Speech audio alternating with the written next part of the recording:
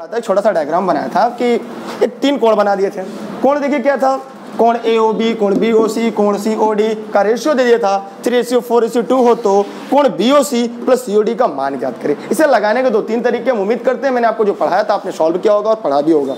यहाँ सीटेड से क्वेश्चन तो ज़्यादा, बहुत ज़्यादा नहीं आते, लेकिन प्रॉपर वे में ये है कि अकॉर्डिंग टू सिलेबस हम चल रहे थे, इसलिए यहाँ पढ़ लिए। वास्तव में जो सीटेड में क्वेश्चन आते हैं, वो आएँगे आपके डायग्राम से रिलेटेड आएँगे। जैसा कि हर बार, मैंने कोई ऐसा ईयर नहीं है जिस ईयर में सीटेड से वहाँ से प्रश्न ना आए हो। फिर भी हम एक छोटा सा टॉपिक आज पढ़ लेंगे और उम्मीद करते हैं आज के बाद ये टॉपिक क्लियर हो जाएगा और आपको दोबारा जब कभी यूपी टेट या सुपर टेट में पढ़ना होगा तो समस्या आपके सामने नहीं आएगी, नहीं पनपेगी तो इसका एक अनुपात का नियम लगाएँगे। हमें जानते हैं कि किसी सरल कोण पर बना कोण का योग सदैव 180 अंश होता है। जबकि इस तरह से क्वेश्चन देगा तो आप परीक्षा में यह दावा भी कर सकते हैं यह प्रश्न अधूरा है, क्योंकि कहीं पर यह नहीं दिया है कि कोण ए ओ डी बराबर 180 180 ऐसा कहीं नहीं लिखा है। लेकिन अगर सरल मैंने दिन पहले बताया था, सरल कोण पर बने कोणों का मान कितना होता है? 180 180 अंश होता है। इस प्रकार इन तीनों कोणों का योग जो होगा, वो क्या होगा? 180 अंश होगा। अब आते हैं इस पे सॉल्व करने पे। हमें जानते हैं कि सबसे पहले अनुपाती योग निकाल लेते हैं। सम ऑफ़ द रेशियो क्या करेंगे? सम ऑफ़ द रेशियो अनुपाती योग। अनुपाती योग कितना होगा? तीन प्लस चार प्लस दो। चार, तीन, सात, दो, नौ। कुल कोण कितना होता है? 180 अनुपाती योग से भाग देंगे। गुड़े, जिस कोण का मान निकालना है, वह कोण? लेकिन यहाँ पे छोटी सी बात दिख रही है। कह रहा है, कौन बीओसी प्लस कौन सीओडी तो बीओसी सीओडी का अनुपाती कितना है? चार दो छह। डायरेक्ट हम अनुपाती योग से गुणा कर दिए। नौ दूना अट्ठारह बीस तो बीस गुड़े छह बराबर एक सौ बीस अंश। डायरेक्ट आप उत्तर ला सकते हैं। अब ऐसे आपने क्या किया होगा? पहले कोण, इसका मान निकाला होगा। अब करना क्या था सबसे पहले? हम 180 में सम ऑफ़ द रेशियो कितना है? 9 से भाग दिया। जिस कोण से गुणा करेंगे, अगर इससे गुणा के इसका मान, इससे गुणा के इससे मान, इससे गुणा के तो अगर कहा है योग तो क्या करेंगे? हम दोनों का योग निकाल देंगे। अंतर पूछता, इनके अनुपाति का अंतर निकालते, फिर गुणा कर देते डायड आपका मान निकल जाएगा। अगर हम मल्टीपल थ्री करेंगे तो पहला कोण अगर हम गुड़े चार करेंगे, दूसरा कोण। गुड़े अगर हम दो करेंगे, तीसरा कोण। लेकिन कह रहा है कि इन दोनों का योग, इन दोनों का योग कितना अच्छा अच्छा से गुणा कर दिया। डायरेक्ट उत्तर आ जाएगा। आपका समय बचेगा ना। गणित आना बहुत बड़ी बात नहीं है, वो गणित आती है। गणित जो समय बचाना आता है, वो बहुत बड़ी बात होती है।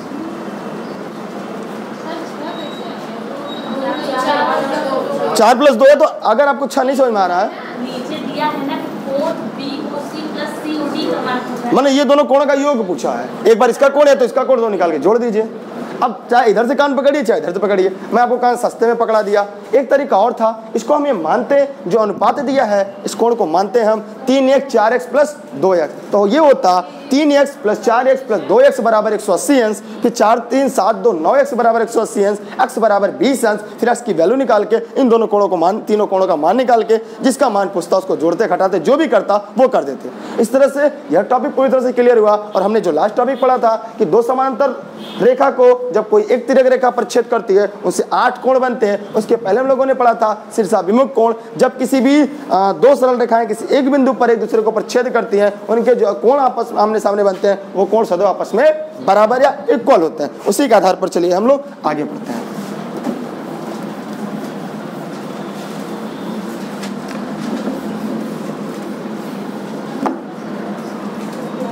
अब हम आके देखते हैं कि एक टॉपिक अगर आपको रिवीजन कराने के बाद हम आगे बढ़ते हैं, वो टॉपिक क्या था कि यदि कोई त्रियक रेखा इसी बिंदु पर प्रतिच्छेद करती है तो जिसके आमने सामने के कोण होते हैं, वो सदैव आपस में बराबर होते हैं। इस प्रकार के बने कोण को शीर्षा विमुख कोण कहते हैं। कौन सा कोण कहते हैं? शीर्षा विमुख कोण कहते हैं। क्या कहते हैं? शीर्षा विमुख कोण कहते हैं। शायद आपको ये टॉपिक याद होगा लॉजिक भी याद होगा, इस पर हम ज़्यादा बात करना उचित नहीं समझेंगे। हम आते अपने मुख्य टॉपिक पे आते हैं। आपको याद होगा, मैं केवल रिवीजन के लिए बता रहा हूँ, क्योंकि हमें जो पढ़ाना था, जो हमारा उद्देश्य था, वो आगे आएगा।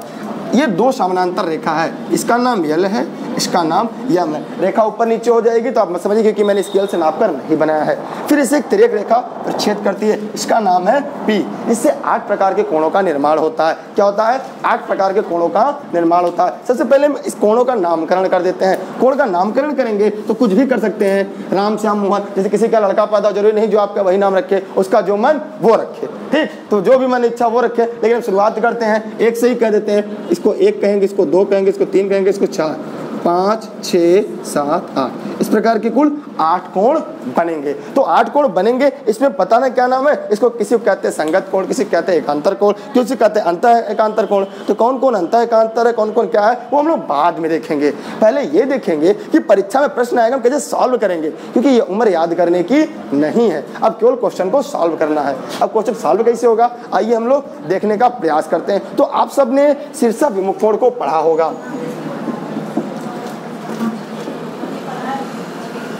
शीर्षाभिमुख कोण अगर आपको याद होगा तो एक बातें यहाँ पे स्पष्ट होंगी, वो बात यह स्पष्ट होगी, इसके पहले अगर आपने शीर्षाभिमुख कोण को पढ़ा होगा तो एक छोटी सी बातें स्पष्ट होगी कि देखिए, कोण एक, कोण तीन के बराबर, कोण दो, कोण कॉन्सेप्ट क्लियर कोण पाँच, कोण सात के बराबर, कोण छह, कोण आठ के बराबर है।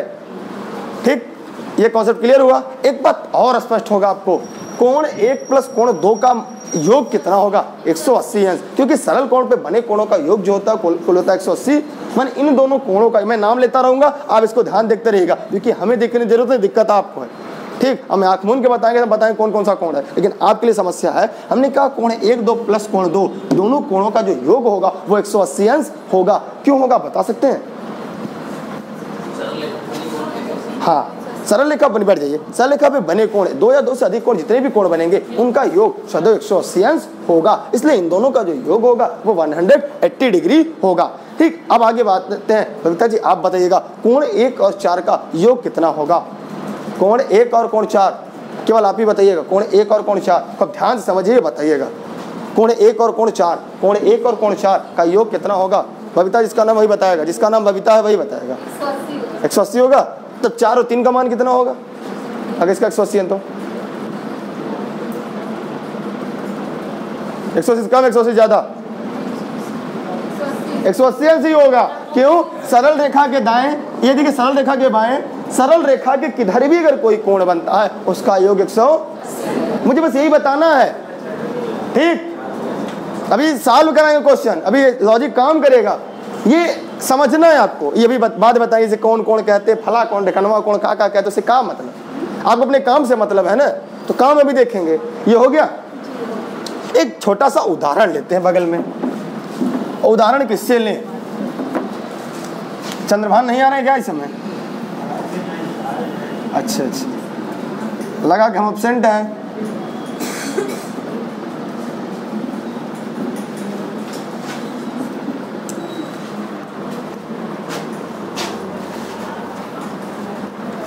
स्वाति जी बताइए यहाँ पे क्या कोण लिखे हैं यहाँ पे? अंश बताइए हाँ। Sixty five degree. तो टेढ़ा रह जाए सब सरल रहेगा।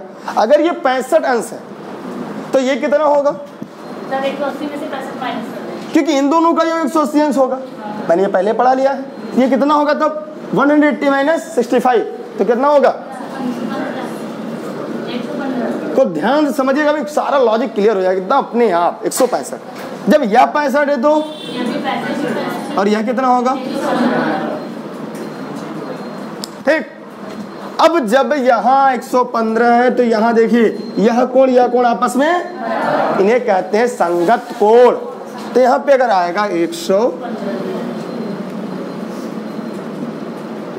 यहाँ पे आएगा। अब मुझे एक चीज़ सिखाना था वो यहाँ सीखेगा। ठीक। अब लिखेंगे संगत कोण कौन कौन सा है? कोण एक और कोण? इसको कैसे लिखेंगे? कोण एक बराबर कोण पाँच और कोण दो बराबर कोण छ इसे कहते हैं संगत कोण। कौन सा कोण? बाह्य संगत कोण। कौन सा कोण? फिर आते हैं अंत संगत कोण में आंतरिक संगत कोण। देखिए, यह पैंसठ यह पैंसठ तो कोण चार बराबर कोण आठ, कोण तीन बराबर कोण सात। दिख रहा है ना? कोण चार और कोण आठ के बराबर, कोण तीन, कोण सात के बराबर। दिखा सबको? नहीं दिखा? दिखा? नहीं दिखा? कहा दिखा बताइए? इसे कौन सा कोण कहेंगे? बाह्य संगत कोण?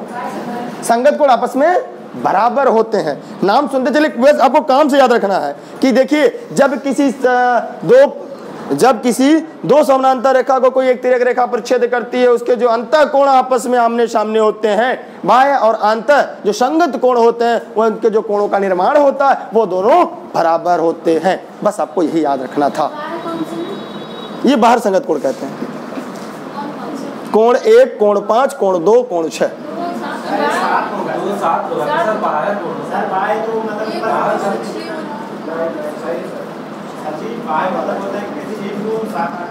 अच्छा एक तो ये। हमने संगत कोण शब्द का प्रयोग किया है। ये ये दोनों संगत कोण होते हैं, ये दोनों संगत कोण संगत कोण आपस में, कुल छोड़िए भैया, नियम कानून, नहीं जाने हो, ई ई बराबर, ई ई बराबर, ऐसे। ठीक? अब और आगे आते हैं। हमने यहाँ लिखा कि कोण चार बराबर कोण आठ, कोण तीन बराबर कोण, ये याद रख लीजिएगा। ये डायग्राम बनाते चलिए। हाँ?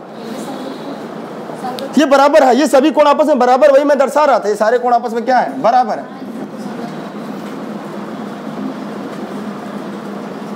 ये सारे कोण आपस में क्या है? मुझे यही दिखाना था बस। अब देखिए, इन दोनों कोणों का योग सदैव एक सौ अस्सी अंश होगा। कौन सा कोण कहेंगे? यह कोण कोण चार प्लस कोण पाँच, माने यहाँ होगा कोण चार प्लस कोण पाँच बराबर 180 अंश, कोण तीन प्लस कोण छ बराबर 100 हाँ? एक अंतर कोण होगा? हम्म। सब छोड़िए खाली मुद्दे पाइए कि अगर किसी समानांतर रेखा में यदि इस प्रकार से कोई कोण बना दिया जाए, इन दोनों का योग सदैव 180 होगा, बात खत्म ठीक यहाँ दोनों कोणों का योग कितना होगा ये जब दो सरल रेखा परिच्छेद करती हैं दो समांतर रेखा, एक रेखा परिच्छेद करती है तो जो अंतर के कोण जो आमने सामने तो क्या होते हैं? अब देखिएगा, अगर इसको जेड बना दे, जेड फार तो यह कोण यह कोण माने कोण चार, कोण छह के बराबर होगा। देख लीजिए, कोण चार, कोण छह के, देखिए यहाँ पे हो गया, कोण चार बराबर कोण छह और कोण तीन बराबर कॉन्सेप्ट क्लियर हुआ?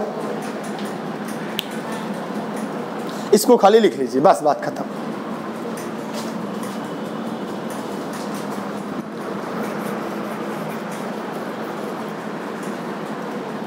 ठीक?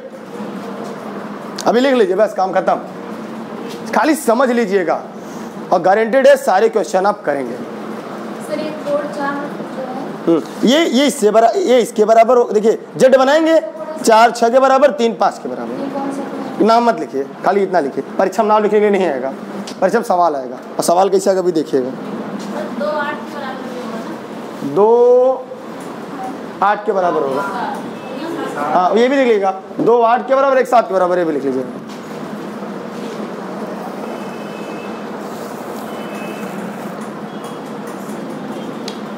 इसको जल्दी सीख लीजिए फिर हम लोग आगे तुरंत बढ़ेंगे।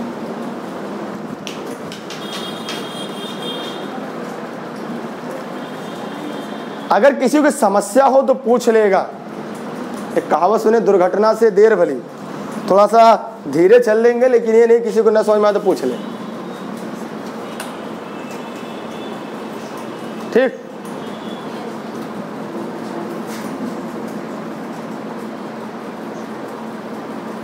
चलिए, आगे बढ़े। एक तो ट्रेंगल नाम सुना त्रिभुज? भूगोल वाले कोई होगा तो बरमुंडा ट्रेंगल भी जानता होगा। और नहीं जानता तो कोई बात नहीं। आ, जो चीज़ बताने वो आप लोग जानते हैं कई बार लोगों ने बताया होगा कि अभी त्रिभुज तो हम पढ़ाए नहीं हमको वैसे त्रिभुज पढ़ा के ये पढ़ाना चाहिए था लेकिन फिर भी उम्मीद करते हैं अमित सर ने आपको त्रिभुज पढ़ाया होगा। इसी हिसाब से त्रिभुज के तीनों अंतर कोणों का योग सदैव एक सौ अस्सी अंश होता है। ये आपको पता है ना? एक त्रिभुज में तीन शीर्ष तीन भुजाएँ तीन कोण होते हैं। किन्हीं दो भुजाओं का योग तीसरे तीसरी भुज से तीसरी भुजा सदैव बड़ा होता है। कोण त्रिभुज को दो भागों में डिवाइड करते हैं, कोण के आधार पर? भुजा के आधार पर कोई बता रहे थे, कोई कह रहा था हमसे। क्योंकि आप लोग पढ़े लिए थे शायद अमित सर से। तो आज हम लोग बस यही जानते हैं, त्रिभुज के कोण पढ़ लेते हैं, फिर आगे चलते हैं। समबाहु समदिबाहु ये सब तो जानते ही होंगे आप।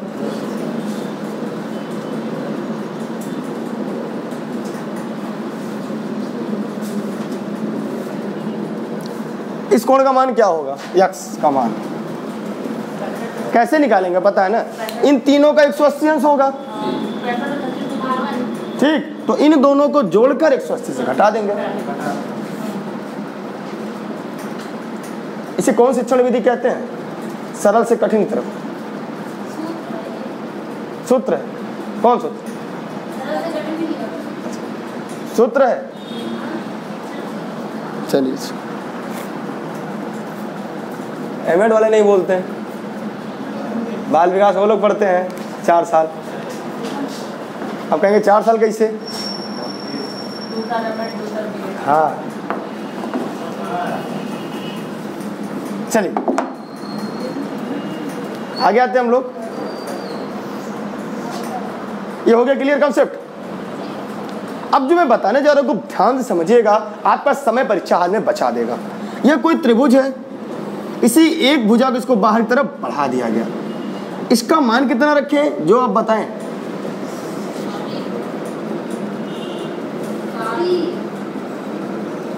और सिक्सटी थ्री तो इसका मान, यक्स का मान क्या होगा? आप बताइएगा। हाँ आप। तो ये निकलेगा। एकदम सरल ट्रिक खूब ध्यान से देखिएगा इन दोनों का जो योग होगा, वही अक्ष का मान होगा। योग, लेकिन इसका तरीका क्या लगाने का? पहले इसका मान निकालेंगे, माना यह कोण क्या है? यक्स वन है। तो इन दोनों का योग करके एक सौ अस्सी से घटाएँगे तो बहत्तर और तिहत्तर, बासठ और तिहत्तर कितना होगा? एक सौ चालीस। एक सौ पैंतीस। एक सौ अस्सी में से एक सौ पैंतीस घटाएँगे। पैंतालीस तो यह आ गया तो फिर ये दोनों का योग एक सौ अस्सी है सरल कौन हो गया? एक सौ अस्सी घटाएँगे। तब कितना आता कोण कोण। ठीक। अब इन दोनों कोणों का योग सदैव क्या होगा ये? तो वो तो दिख ही रहा है जोड़ने पर भी हो जाएगा हाँ। ये जोड़ने पे आ गया तभी तो बताएँ। ये सारा आसानी से लगा सकते हैं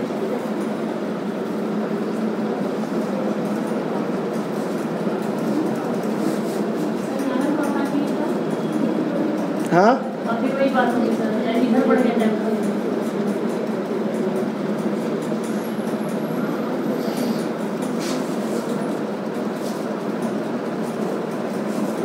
यक्ष अंश का मान क्या था बताएगा नहीं कोई। ये मौर्य जी बताएँगे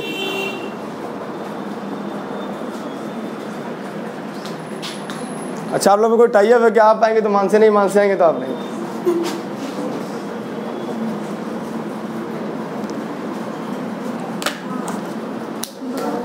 एक दिन एबसेंट थे आपका कोटा पूरा कर दे रहे हैं। हम हाँ हाँ। आपको इतनी अच्छी विधि बता दी तो चारों कोणों में बता सकते हैं। पहले इसका बता दिए एक एक सौ अठारह दिए कितना होगा? जब इसका बासठ तीन दोनों के योग करके घटा दीजिए। इस इ, इसको इसमें घटा देंगे तो वो निकल जाएगा। क्योंकि इन दोनों का योग ये है। और जब योग पता जैसे राम श्याम मिलकर बारह रुपया कमाते हैं। तो तभी उतना आएगा। तभी तुम कह रहे हो भाई चीज़। चाहे जैसे आप लगाए। मेरा मतलब ये है कि बिना नियम के लगाना है। ये सब जानते हैं कैसे लगता है? कि हाई स्कूल में देखिए, नौ में देखिए कैसे लगाते हैं? पता नहीं कैसे कैसे माना कोण, ये, वो इतना बराबर भी कोण, ये, ऐसे ऐसे, पता नहीं कैसे कैसे? है। हाँ। लगाने वाले आज भी ऐसे लगाते हैं। और बड़ी बात ये है, जो गणितीय किताबियाँ दे के पढ़ाते हो, जैसे किताबियाँ में साल बताओ साल वो करते हैं। ना, आगे ना पीछे हो गया? ये कॉन्सेप्ट क्लियर ना? अब की क्वेश्चन का जवाब केवल राहुल देंगे। मिठाई इसको?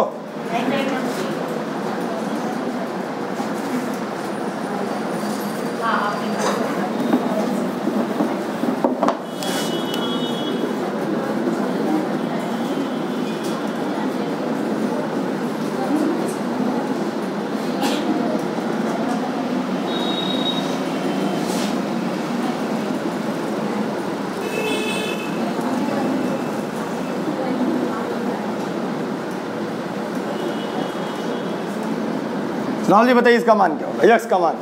ये है पचहत्तर अंश है, ये साठ अंश है यक्स अंश कोई बोलेगा नहीं, खाली साल करेंगे। मैं ये चाहता हूँ कि आप सारे कोण का मान निकाल ले। अगर आपने निकाल लिया मतलब मेरा पढ़ाई आपको समझ में आ गया, बस। कोई बोलेगा नहीं। जवाब कोई नहीं दे, केवल हम मन में सॉल्व करते जाइए, बस।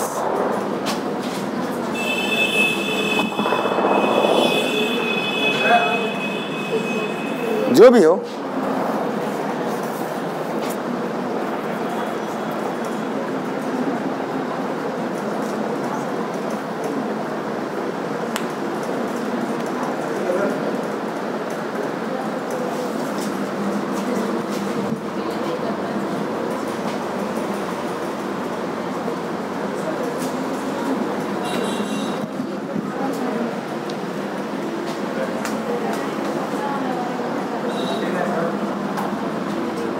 जितना नज़र आ रहा है उसके हिसाब से चित्र बहुत गजब हाँ हाँ तब लीजिए भैया, अगर आपको चित्र की दिक्कत है, बदल देना कुछ।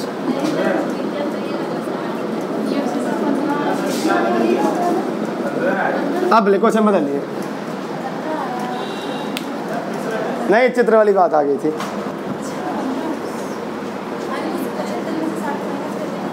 मुझे बस कॉन्सेप्ट बताना था कॉन्सेप्ट सॉल्व कैसे हो बाकी हम लोग खुद ही कर लेंगे।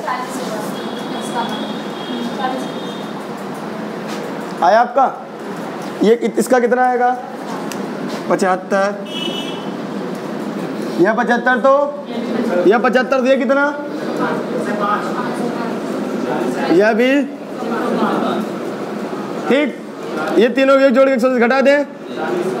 या इसमें इसको घटा दें डायरेक्ट।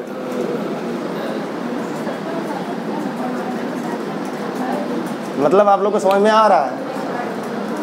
आगे बढ़े। बढ़े। ये पचहत्तर, ये भी पचहत्तर। शीर्षाभिमुख से। ये पचहत्तर, ये कितना आएगा? सरल कोड हो गया। एक सौ अस्सी पचहत्तर घटाएँगे, एक सौ पाँच। जब ये एक सौ पाँच तो ये भी एक सौ पाँच। और यह कितना, इन दोनों को जोड़कर एक सौ अस्सी घटा देंगे। दोनों जोड़ेंगे, तभी तो निकलेगी, त्रिभुज हो गया ना। त्रिभुज तीनों अंतर कोणों के एक सौ अस्सी अंश। बस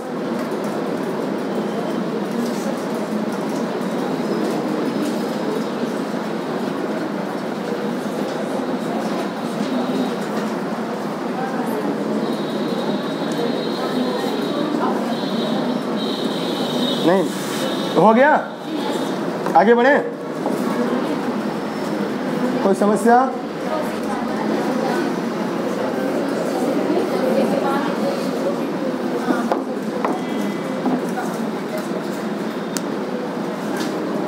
सरल सवाल दे। कठिन दे कठिन दे। पक्का?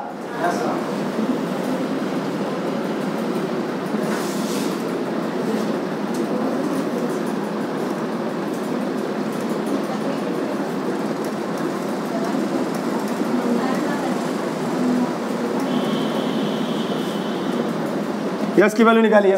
लगाइए आज तो। बहुत मन है आपको। ये पैंतालीस अंश ये पचास अंश ये एक्स अंश और ये वाई अंश इसका भी निकालिए तो। निकालिए। यक्स वाई दोनों का। और कठिन दे।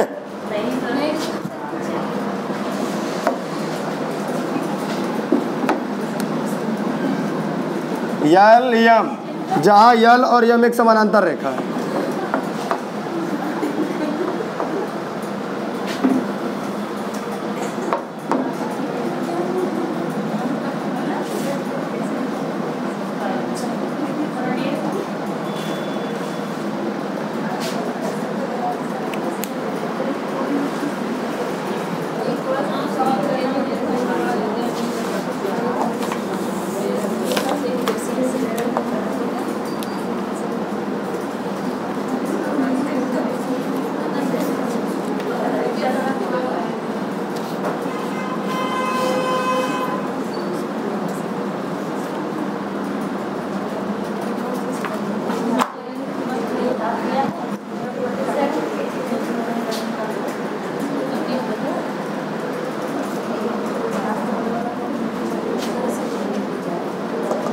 नहीं ये बोल दिए हम पे लगाए बताइए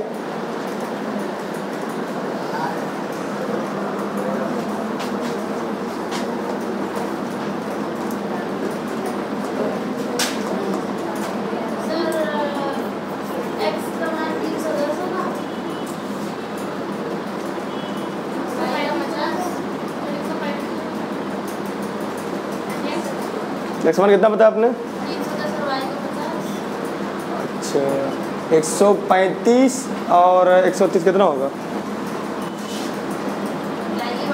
135 130 दो सौ दो सौ पैंसठ? हाँ। दो सौ पैंसठ ना? सही है। क्या तरह सॉल्व करें? सॉल्व करें आप? एक तरीके से दो तरीके से। किस तरीके से सॉल्व करें? अच्छा अच्छा। ये होता है चाकू को कितने लोग काटना उठा जानते हैं? सब्ज़ी भी कितने लोग काटे हैं? कोड़ा वाला काटे हैं अच्छा कोड़ा काटे हैं। चलिए। इसको हम भी काटते हैं चाकू से। काट दिया। इस कोण, इस कोणों का योग कितना होगा? एक संलेखा बने कोणों का योग? 180 अंश। अथवा जब यह 45 तो यह कोण अभी पता नहीं जेड वाला, जैसे कोण चार और कोण ये देखिए, इस तरह से, इस तरह से आएगा ना? ये और ये बराबर होगा? छोड़ दीजिए, ये 45 ये कितना होगा?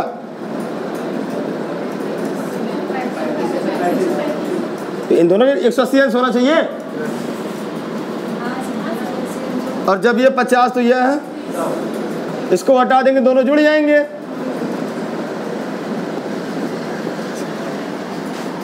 जब ये दो सौ पैंसठ तो ये पूरा तीन साठ होगा। दो सौ पैंसठ, तीन सौ साठ घटाएँगे, कितना होगा? पंचानवे। ये पंचानवे एक तरीके से और आएगा। कैसे? जब कुछ चाकू साहब काटे थे, यह पैंतालीस तो ये भी पैंतालीस, यह पचास तो ये भी पचास पचास, पैंतालीस। और जब यह पंचानवे तो इधर वाला दोनों तीन सौ साठ से घटा देंगे। आया समझ में? लगाइए, फिर हम दूसरा समझा रहे हैं। अरविंद जी, समझ में आया? आपका अर्थ अभी और दे रहे लीजिए अभी इसी बाद। लीजिए।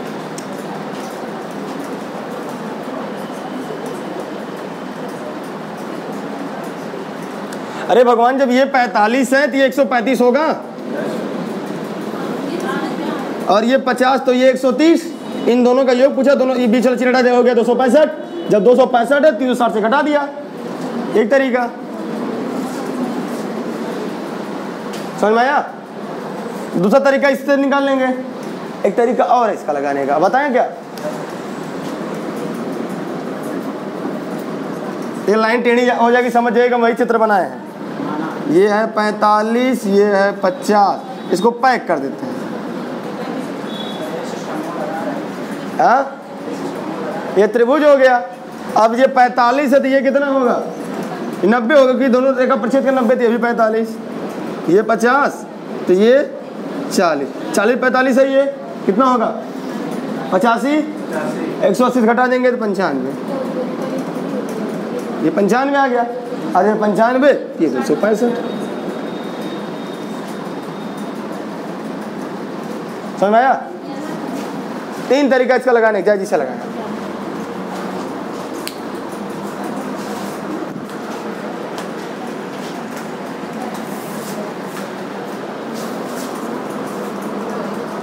मिटाएँ अब? मिटाएँ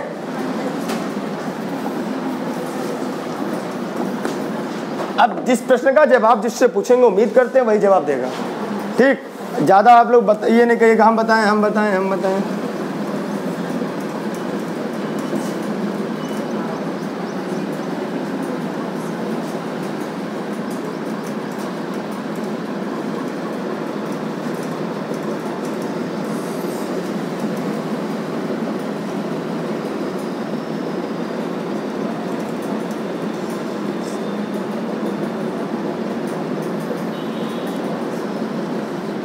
यक्स का मान क्या होगा एक डायग्राम मैंने बनाया और एक बात और लिख दें आपको। ये यल है और ये यम है जहाँ यल समानांतर ये एक सौ आठ अंश है यक्स अंश है तीस अंश है बयालीस अंश है।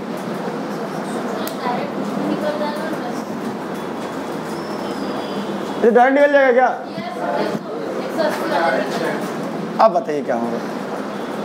एक्स और वाई का मान निकालिए। एक्स और वाई का मान निकालिए, चलिए। कितना सरल कर दिए थे हम। एक्स और वाई का मान निकालिए। आएगा कि नहीं आएगा?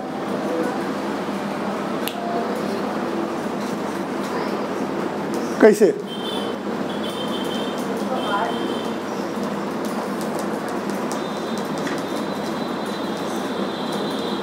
मैं किरण जी, आप बताइए।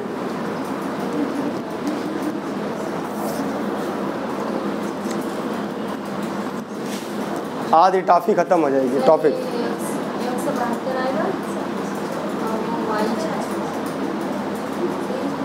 अब आप लगाएँ गलत।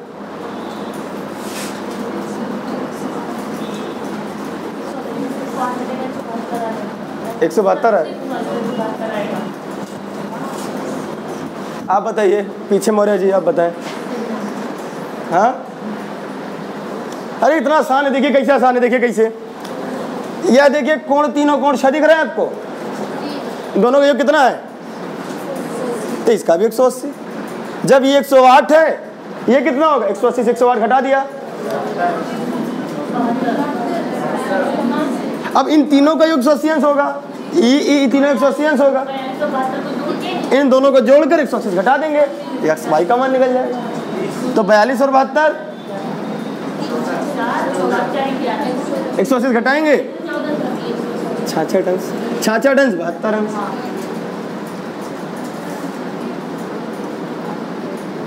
समझ आया? सत्तर रखेंगे। एक सौ तीस। पचास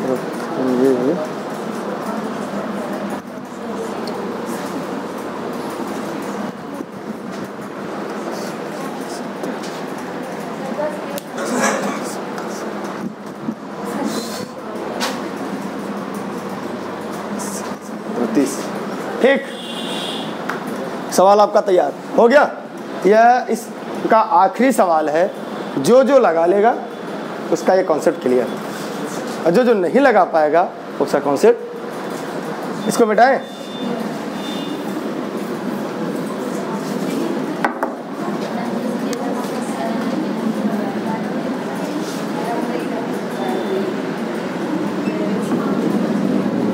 यल, यम, यल समानांतर यम।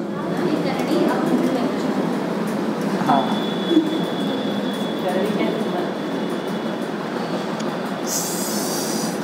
अंश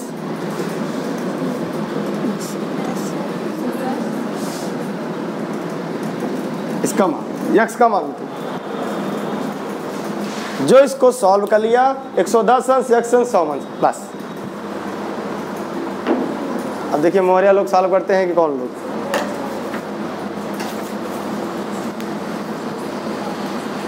आराम से सॉल्व करिए, कोई जल्दबाजी नहीं ये आखिरी सवाल है। बताएँगे तो हिम्मत कहिएगा इतना आसान था। हाँ? सही है। उत्तर आ गया। तीस सही है। हाँ देखिए, बताएँगे। देखिए। यहाँ से लाइन गुजार देंगे। इसका नाम रखेंगे यन। तो यल समानांतर यम तो यम समानांतर भैया, एक सौ सौ बतिए कितना होगा? बहुत सही। ये दोनों का एक सौ अस्सी होगा? और ये एक सौ दस ये। अब इन तीनों का एक सौ अस्सी इन दोनों को जोड़ के घटा देंगे। डेढ़ सौ। डेढ़ सौ में से घटाएँगे एक सौ अस्सी। समझ लीजिए। आप चाहे जैसा प्रश्न आएगा, आप कर लेंगे आसानी से। आपको इतना दिमाग हमने दे दिया। वास्तव में रेखा गणित सरल है या नहीं? अभी और सरल करेंगे, लेकिन आपके आगे सिलेबस में नहीं है, वरना आगे। जो वृत्तत्व वाला आता है, जितना बड़ा गोला फोला करे, जीवा हुआ खींचे, दो जीवा खींचे, तीन जीवा खींचे, आप बिना पेन उठाए लगाएँगे। बिना पेन उठाए। लेकिन प्रैक्टिस करना होगा।